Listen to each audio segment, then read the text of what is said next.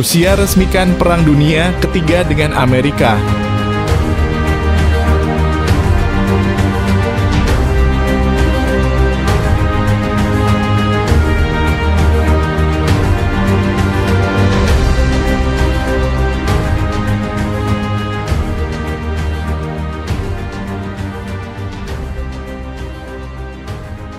Mosi-mosi politik yang tegang antara Rusia dan Amerika Serikat yang telah mendominasi arena geopolitik global selama bertahun-tahun. Akhirnya mencapai puncaknya dengan Rusia secara resmi mengumumkan dimulainya Perang Dunia Ketiga. Langkah ini yang diikuti oleh respon segera dari Amerika Serikat menandai dimulainya konflik terbesar dalam sejarah manusia modern. Keputusan Rusia untuk memulai perang ini tampaknya menjadi hasil dari serangkaian ketegangan yang telah berakar dalam hubungan antara kedua kekuatan tersebut. Provokasi dan tuduhan saling menyalahkan telah merusak kesepakatan diplomasi yang pernah ada, memicu pertempuran retorika yang meningkat pesat dalam beberapa bulan terakhir. Sejak pemilihan presiden terbaru di Amerika Serikat, hubungan antara kedua negara tampak semakin menegang. Presiden Rusia Vladimir Putin dalam pidatonya yang mengumumkan dimulainya perang menyalahkan Amerika Serikat atas perilaku provokatif yang tidak dapat ditoleransi. Putin menuduh Amerika Serikat telah mencoba untuk merongrong kestabilan regional dan mengintervensi dalam urusan dalam negeri Rusia. Dia juga menyebut serangan siber yang baru-baru ini terjadi sebagai bukti bahwa Amerika Serikat telah memulai perang siber terhadap Rusia. Tanggapan dari pihak Amerika Serikat tidak kalah tajam. Presiden AS dalam pernyataannya kepada pers menegaskan bahwa tindakan Rusia tidak akan ditoleransi dan bahwa Amerika Serikat akan membela diri dan sekutu-sekutunya dengan segala cara yang diperlukan. Kedua negara segera mengambil langkah-langkah untuk memobilisasi sumber daya militer mereka dengan meningkatkan kesiapan pasukan di seluruh dunia. Negara-negara lain di seluruh dunia pun terpaksa bersiap menghadapi implikasi dari konflik yang sedang memuncak ini. Ketidakpastian menyelimuti masa depan global dengan banyak negara mempersiapkan diri untuk kemungkinan terburuk perang besar yang bisa mengubah wajah dunia modern. Pihak-pihak yang terlibat dalam konflik ini terus memperkuat posisi mereka, sementara upaya diplomasi untuk meredakan ketegangan terlihat semakin sulit. Dalam suasana yang penuh kecemasan dan ketidakpastian ini, satu-satunya yang dapat dipastikan adalah bahwa dunia saat ini berada di ambang peristiwa yang akan menentukan arah masa depannya. Semua mata tertuju pada perkembangan selanjutnya dalam konflik yang sedang memuncak antara dua kekuatan besar ini. Dalam sebuah gerakan yang mengejutkan seluruh dunia, Rusia dan Amerika Serikat secara resmi menyatakan perang satu sama lain. Langkah dramatis ini menandai dimulainya Perang Dunia Ketiga, mengirim gelombang kepanikan dan kekhawatiran di seluruh dunia.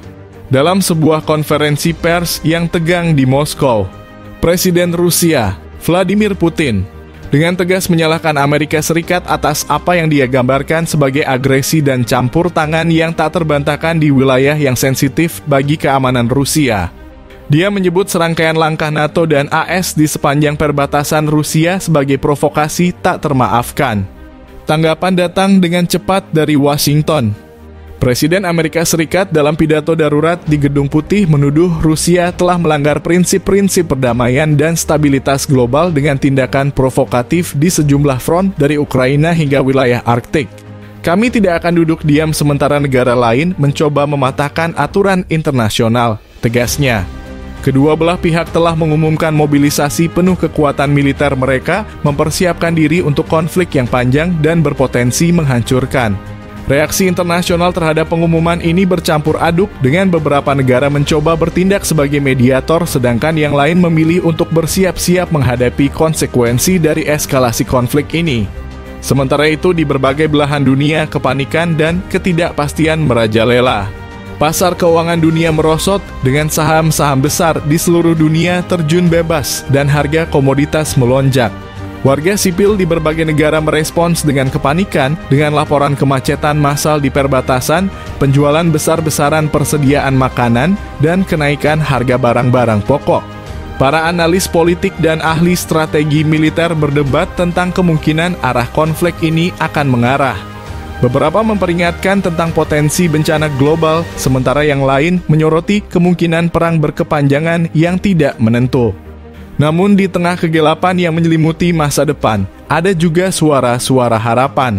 Aktivis perdamaian di seluruh dunia berupaya merangkul dialog dan negosiasi, sementara banyak warga sipil menggulirkan inisiatif perdamaian dan menyerukan kepada para pemimpin dunia untuk menemukan jalan keluar dari konflik ini. Dalam keadaan di mana ketegangan internasional mencapai titik puncaknya, dunia memegang napasnya, berharap bahwa cahaya perdamaian dan kerjasama akan muncul dari kegelapan yang menyelimuti dunia ini. Tapi satu hal pasti dengan resminya dimulainya Perang Dunia Ketiga, tantangan terbesar bagi kemanusiaan telah tiba dan masa depan yang tidak pasti menanti kita semua. Langkah AS yang mengorbankan militer Ukraina ini mendapat kecaman dari berbagai pihak.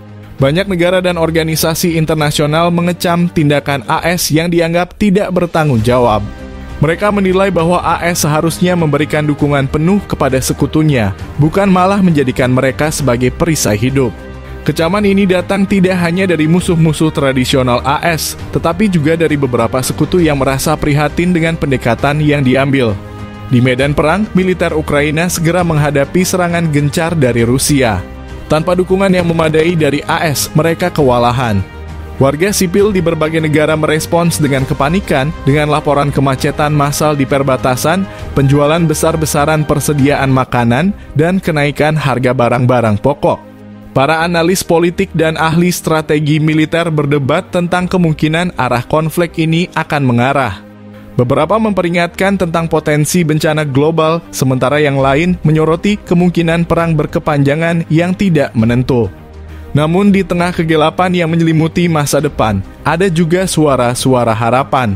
Aktivis perdamaian di seluruh dunia berupaya merangkul dialog dan negosiasi, sementara banyak warga sipil menggulirkan inisiatif perdamaian dan menyerukan kepada para pemimpin dunia untuk menemukan jalan keluar dari konflik ini. Dalam keadaan di mana ketegangan internasional mencapai titik puncaknya, dunia memegang napasnya, berharap bahwa cahaya perdamaian dan kerjasama akan muncul dari kegelapan yang menyelimuti dunia ini. Tapi satu hal pasti dengan resminya dimulainya Perang Dunia Ketiga, tantangan terbesar bagi kemanusiaan telah tiba dan masa depan yang tidak pasti menanti kita semua. Langkah AS yang mengorbankan militer Ukraina ini mendapat kecaman dari berbagai pihak. Banyak negara dan organisasi internasional mengecam tindakan AS yang dianggap tidak bertanggung jawab.